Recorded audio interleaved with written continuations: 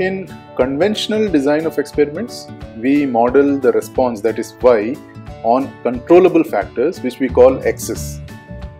We block the noise factors during experiments in DOE. But in Taguchi's designs, we model the response y on controllable factors and noise both. This is what leads to a robust process centered at the target with minimal influence of variation on the factors as well as response. Now that we have a high level idea on Taguchi's designs, before we dive deep into the methodology, it is important to understand when can we use this method? Now one of the significant advantages in this method is that it reduces the required number of experiments which obviously reduces the time and cost of experimentation.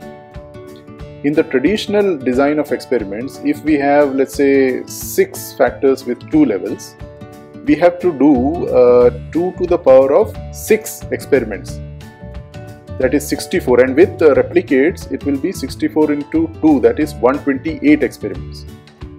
Even if we choose half fractional factorial design we will end up doing 64 experiments with replicates whereas in Taguchi's methods we need only 8 experiments. The second most useful situation is when the noise factors have significant influence on the control factors and the process performance. In Taguchi's method, the design is modeled on both controllable factors and the noise factors and hence will return a robust process. As a rule of thumb, the number of control factors should be greater than the number of noise factors as only then we will be in a position to locate a factor that will help reduce the noise. The other uh, very important aspect is when any deviation from the target will invite major tangible losses for the business, for the process, then we definitely need a robust design approach like Taguchi's method. Now in the set of uh, beliefs in Taguchi's designs, few can be seen as limitations about the approach. And as a practitioner, it is important to be aware about those limitations. Number one, this method doesn't believe in uh, randomization, so to say. The concept of lurking variable, which is an unknown variable that may impact the response, is handled by randomizing the experiment uh, in the traditional method. Taguchi feels that the users must be expert in their processes and all such lurking variables must be known beforehand. Number two, it believes that the user's experience and in-depth knowledge will help to identify the interactions and will help to choose the significant uh, interactions before we start the experiment. So this method must be only used when we have the subject matter experts who are willing to devote the required time on the project. This is very very important. In some cases, it is not the optimal best we are after when it comes to the process output. Especially in a product scenario, at times we want the output to vary in a controlled way when an input factor is changed. As an example, if we take the accelerator uh, pedal in a car, now in the car, we would want the rate of acceleration to be tied to how much we press the pedal. Now such a factor is called the signal factor. So here we are referring to the accelerator pedal in the car and the depression that is going to be put on that pedal. That forms the signal factor. And the response, which is the rate of acceleration, should be in proportion to this depression. So in such cases, Taguchi's designs can be very useful. In practice, we see the application of Taguchi's method in two scenarios.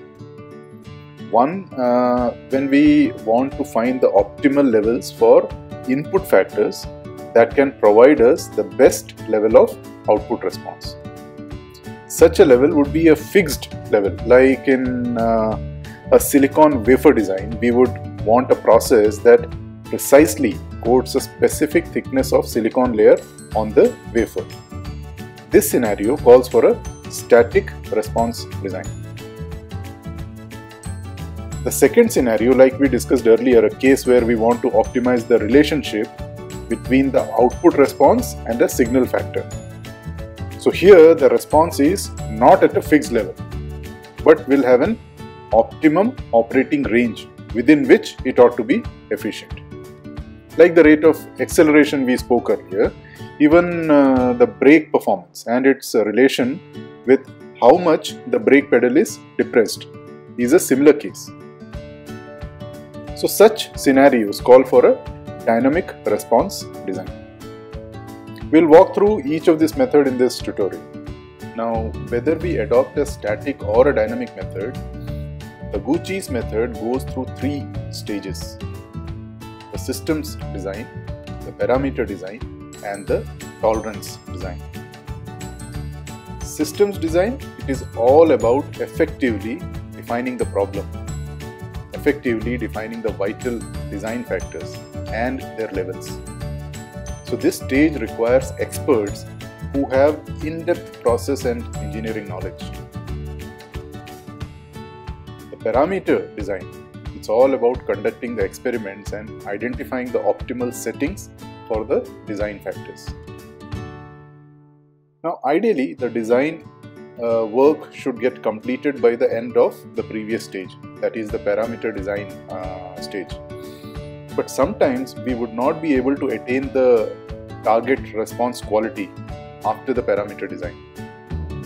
Then we need to determine tighter tolerances around the optimal factor settings that we have identified during the previous stage this is what happens in the tolerance design phase so on one side, it leads to a robust design in which the designed process delivers at the target and is least impacted by the variance or the noise factor.